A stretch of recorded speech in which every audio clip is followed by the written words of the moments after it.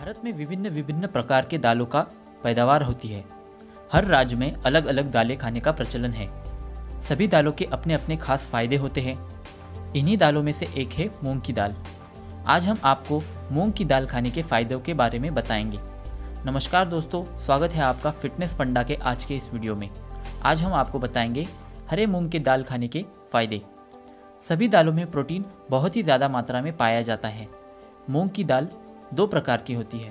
पहली पीली और दूसरी हरी। पीली मूंग की दाल धुली हुई और बिना छिलके के होती है, जबकि हरी मूंग की दाल छिलकों के समेत होती है। हरी मूंग की दाल को साबुत मूंग भी कहा जाता है। मूंग की दाल को खाने के अलावा इसका हलवा भी बनाया जाता है। मूंग की दाल खाने में जितना स्वादिष्ट होती है, सेहत के नज़रिए से भी उतना ही ज़्यादा फ़ायदेमंद मानी जाती है। मूंग की दाल पेट के लिए भी काफ़ी लाभकारी मानी जाती है। यह शाकाहारी लोगों की पसंदीदा दालों में से एक है। मूंग की दाल में 50 प्रतिशत तक प्रोटीन होता है। इसमें फाइबर और कार्बोहाइड्रेट्स भी बहुत अच्छी मात्रा में पाए जाते हैं। इसके अलावा मूंग की दाल में विटामिन फॉस्फोरस और मिनरल्स भी पाए जाते हैं। इस सेहतमंद दाल का आप सूप भी बनाकर पी सकते हैं। बीमार लोगों को पीली मूंग दाल खाने की सलाह डॉक्टर हमेशा देते हैं। गर्भवती महिलाओं के लिए बहुत लाभकारी। गर्भवती स्त्रियों के लिए मूंग की दाल का सेवन ज़रूर करना चाहिए, क्योंकि यह न सिर्फ़ उनके लिए फ़ायदेमंद है, बल्कि होने वाले बच्चे के लिए भी लाभकारी होती है। इसलिए गर्भवती महिला हफ़्ते में कम से कम तीन दिन मूंग की दाल को ज़रूर खाएँ। कमज़ोरी दूर करें। मूंग की दाल शरीर में ताकत पैदा करती है, इसीलिए बीमार लोगों को मूंग की दाल खाने की सलाह डॉक्टर देते हैं। मूंग की दाल का सेवन करने से मरीज़ को बहुत जल्दी फ़ायदा होता है। अगर कोई व्यक्ति आयन की कमी से जूझ रहा है तो उसे अपने भोजन में मूंग की दाल को शामिल करना चाहिए। यह शरीर को कमज़ोरी को दूर करता है। पेट के लिए लाभकारी। मूंग की दाल पचने में बहुत ही आसान होती है।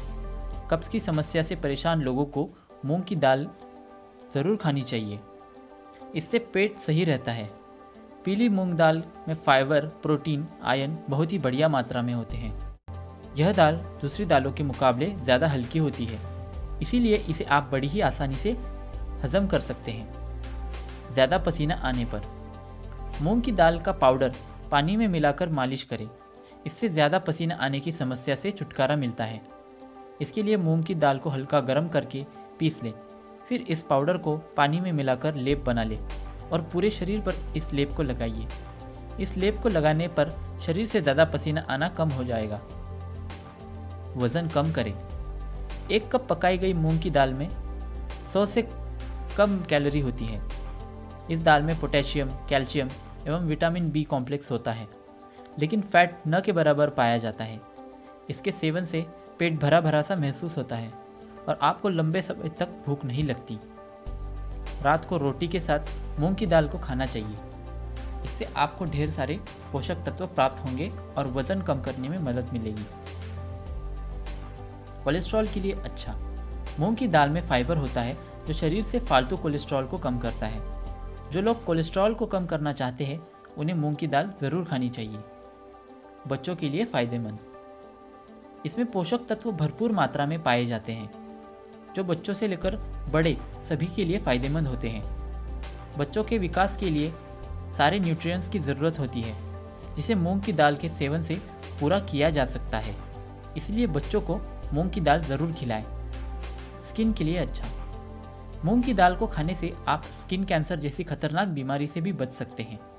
जब आप धूप में जाते हैं तो सूरज की अल्ट्रावायलेट किरणों से, पोल्यूशन की वजह से फ्री रेडिकल सेल्स आपकी स्किन में प्रवेश करने लगते हैं, जिससे आपकी स्किन डैमेज होने लगती है। मूंग दाल में एंटीऑक्सीडेंट पाए जाते हैं, जो फ्री रेडिकल सेल्स से लड़ते हैं और आपको स्किन कैंसर से बचाते हैं। ब्लड प्रेशर कंट्रोल करें। मूंग दाल के सेवन से ब्लड प्रेशर कंट्रोल में रहता है। यह सोडियम के प्रभाव को कम करता है, जिससे ब्लड प्रेशर ज़्यादा नहीं बढ़ता। दिल के मरीजों को मूंग की दाल ज़रूर खानी चाहिए। यह दिल के लिए काफ़ी फ़ायदेमंद माना जाता है। दांत, खाज, खुजली दूर करें। छिलके वाली मूंग की दाल को पीस ले। फिर इसका लेप बनाकर दांत, खाज, खुजली वाली जगह पर लगाएँ। इससे आपको काफ़ी आराम मिलता है। मुझे आशा है दोस्तों कि आपको ये वीडियो पसंद आई होगी तो इस वीडियो को लाइक ज़रूर करिए। अगर आपके कुछ सुझाव है, उसे कमेंट बॉक्स में लिखना ना भूलें।